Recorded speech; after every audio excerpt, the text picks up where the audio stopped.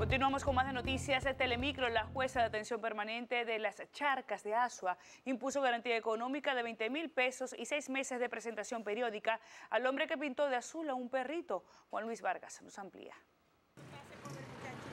El Ministerio Público pidió como máximo un mes de prisión preventiva para Juan Diego Félix, acusado de teñir un perro con pintura azul, solicitud que fue rechazada por la jueza la magistrada Anabel, imponiéndole una garantía económica de 20 mil pesos. Muy, muy complaciente, muy bien. ¿Cree que se hizo? Se hizo justicia. Yo no quise hacerle maldad a ese animal, la maldad me la querencia a mí. Y mira, Dios está en el cielo. Eh. Desde Santo Domingo acudieron dos representantes de una fundación que protege a los animales, como querellantes de la víctima, en este caso el perro. Tienen que respetar la ley 248-12. Es justo que una persona que le cause un daño a un ser viviente pague con la ley. Los familiares y allegados del imputado entendieron que la garantía económica es mucho debido a que es de escasos recursos. La tomamos bien porque está en libertad, pero las medidas que le pusieron, nosotros somos de escasos, de escasos recursos. Que la que le puso fue 20 mil pesos. Esto más adelante se puede convertir en una prisión preventiva anticipada si no aparecen los 20 mil pesos. Que él no quiso hacer una maldad al perro, que ese perro lo quiere él como, como un hijo de él. Eso es son abusadores. Juan Diego deberá firmar cada día 12 por 6 meses un libro en este juzgado de paz de las Charcas. Desde ASO, República Dominicana, Juan Luis Vargas, Noticias, Telemicro.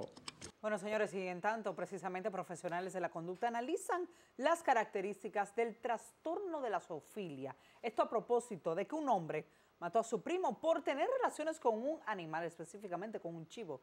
Veamos los detalles con nuestro corresponsal Miguel Ángel Arroyo. Ángel Radamés Peralta, alias Chulo, le quitó la vida a... En el informe dado a conocer a los medios a través de su vocero en esta ciudad, la Policía Nacional señala como la causa del asesinato del joven Diego Ismael Peralta por parte de su primo Ángel Radamés Peralta. Fue una riña por presunta zoofilia. La víctima pues había sostenido relaciones zoofílicas con un eh, animal propiedad del victimario. Por estas viejas rencillas que ambos tenían, el victimario pues tomó la decisión de quitarle la vida. Los profesionales de la conducta explican las características que definen este trastorno. La inclinación sexual supone la existencia de una atracción sexual no humana, en este caso de los animales. Este trastorno se caracteriza por intensas y repetidas fantasías sexuales. Está muy vinculado a la parte de, cría de animales. Generalmente se da en personas eh, que viven en, la parte rural. En el día de hoy se le conocerá medida de coerción a Ángel Radamés Peralta, quien mató a su primo en Moca, provincia de Espaillat. Miguel Ángel Arroyo, Noticias Telemicro. Bien amigos, y será este miércoles cuando representantes del gobierno irán al Ceibo a medir las tierras para establecer la cantidad de terreno que les toca a los desalojados que se manifestaron aquí frente al Palacio Nacional. Junior Trinidad en directo nos amplía la información. Adelante Junior, muy buenas noches. Gracias Eliante y Rafaelina, muy buenas noches. Tras una llamada del Palacio Nacional será este miércoles a primeras horas cuando una comisión medirá los terrenos en la comunidad La Culebra del Ceibo para establecer la cantidad de terrenos que reclaman los peregrinos. Bueno, así fue, se lo localizó durante el día de hoy y nos llamaron para decir que a las 7 de la mañana ya se estaría en la tierra, allá en La Culebra, en Vicentillo, en la provincia del Ceibo, para iniciar las mediciones de los técnicos de la titulación de tierras del IAD de y también con miembros de nuestra comisión y con un ingeniero agrónomo y con un abogado, que van a tardar dos, tres días, pero bueno, el cronograma decía que el jueves el ministro Peralta nos daría la respuesta, porque dos días son más que suficientes, porque irán con drones, con GPS y ya con estudios previos para la medición de la tierra. Mientras que campesinos dicen esperan una buena respuesta del gobierno para retornar a sus tierras. Bueno, podemos decir que estamos esperando a ver los resultados de la medida, a ver si nos conviene lo que se haga.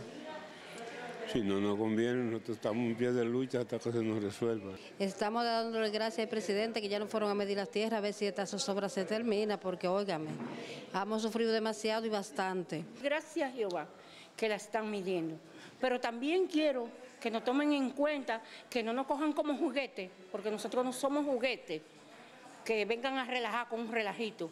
Ambas comisiones están integradas por equipos de abogados y los resultados estarán para finales de esta semana. Es todo de mi parte, retorno con ustedes al estudio.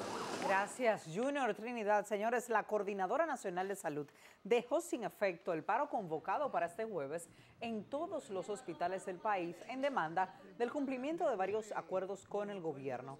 Virgilio Lebrón, secretario de la Asociación de Enfermería, sostuvo que el director del Servicio Nacional de Salud, Chanel Rosa Chupani, les convocó para una reunión el próximo lunes en su oficina, por lo que decidieron dar ese compás de espera. De nuestra parte, le hacemos un llamado a nuestra membresía a mantenerse alerta a la reunión que sostendremos el próximo lunes. Nosotros como organizaciones, el lunes, mantendremos nuestra propuesta de que el tema relativo al proyecto de ley que garantice pensiones dignas para el sector salud sea sometido al Congreso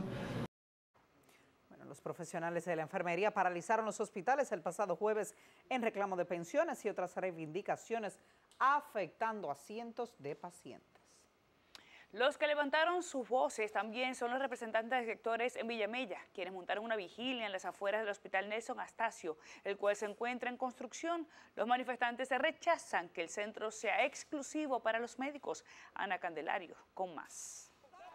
Según los municipios, la construcción del Hospital Nelson Astacio ubicado en la Ciudad de la Salud era una obra para la comunidad del municipio Santo Domingo Norte que viene a descongestionar otros centros de salud del Distrito Nacional. Señalaron que el ministro de Salud Rafael Sánchez Cárdenas busca congraciarse con los médicos. Por tanto, la iglesia se opone y estamos firmes de que nosotros estaremos bajo la marcha, bajo vigilia, bajo ayuno, para que este, eh, para que este hospital sea entregado a los municipios de Santo Domingo Norte. Realmente nosotros nos oponemos a que estas instalaciones, que tienen una cuantiosa inversión de los recursos del Estado, les sea pasado a un gremio profesional médico. De acuerdo a la diputada Milady Suero, el crecimiento poblacional amerita que los habitantes de Villamella tengan todos sus servicios en su demarcación. Santo Domingo Norte tiene más de 800 mil habitantes, no tiene un hospital general de medicina interna. Tenemos ahí la UNA, pero está en construcción también. Nosotros vamos a hacer lo que sea. Si tenemos que hacer huelga de hambre, si tenemos que encadenarnos a la puerta del hospital, nosotros lo vamos a hacer. Y si persisten, si no escuchan a la ciudadanía, vamos a ocupar el hospital. Ahora el presidente le instruye a esos funcionarios de las instituciones que tienen que ver con la salud que hagan un acuerdo con el Colegio Médico para entregarle el hospital de los municipios de Santo Domingo Norte. Sostienen que agotarán todos los métodos, ya que han esperado por más de ocho años por la terminación del hospital. Ana Candelario, Noticias Telemicro. Bueno, señores, una mujer de 36 años que permanece ingresada en el Hospital Salvador Begotier con un cuadro diabético que ya colapsó sus riñones. Necesita con urgencia seguir su tratamiento de diálisis, pero como nos cuenta Janet Fernández en el centro de salud donde lleva más de un mes hospitalizada. Desde ayer han hecho todo lo posible por encontrarle un acceso vascular, pero no han tenido éxito. Veamos más de su estado de salud. Lunisol Taveras se aferra a la vida y ante los intentos fallidos de no poder colocarse el catéter que su cuerpo rechazó el pasado lunes en el Hospital Salvador Begotier, buscó una segunda opción. ¿Es el único sitio? Sí. ¿Y qué costo tiene ese proceso? 387 mil pesos. Su lucha no es fácil, pero no pierde la esperanza de ganar la batalla. Todo el que pueda cooperar, aunque sea con un peso, yo se lo agradezco por favor, que me ayuden, que yo quiero sobrevivir. Yo estoy luchando por sobrevivir.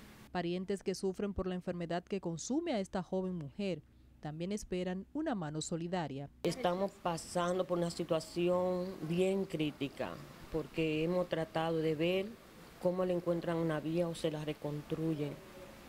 Nos cuesta un dinero que a nuestra mano no está. Pedimos ayuda, porque sabemos que en este país hay muchas personas y muchas personas que ayudan. Si usted desea colaborar con esta causa, Puede comunicarse al número telefónico 809-931-9587 o depositar a la cuenta del Banco de Reservas 960-160-9427. Esperemos que lleguen muchas manos que puedan aportar. Eh, en otro tema, indignación, ha provocado un video en el que se ve a un hombre dar de tomar alcohol a un caballo. En la fílmica se observa cómo el individuo se baja del animal y le coloca una botella que parece ser cerveza. Se desconoce el lugar donde ocurrió este hecho. Bueno, señores, un turista captó en video a un extraño pez con rostro humano. Esto ocurrió en un lago cerca de la ciudad china de Kunming. El animal acuático color gris parece tener la cara de una persona, con ojos, nariz y boca similares. Este pez fue grabado cuando se acercó a una orilla del lago en busca de comida. ¿Qué piensan ustedes? Mírenlo ahí. Parece un gato más. Se pierde al regreso, les diremos por qué el presidente de la Asociación de Industrias dice que la educación en el país está obsoleta. Más adelante les presentamos la primera entrega del reportaje sobre la forma en que se ganan la vida ex convictos en una empresa de Capotillo.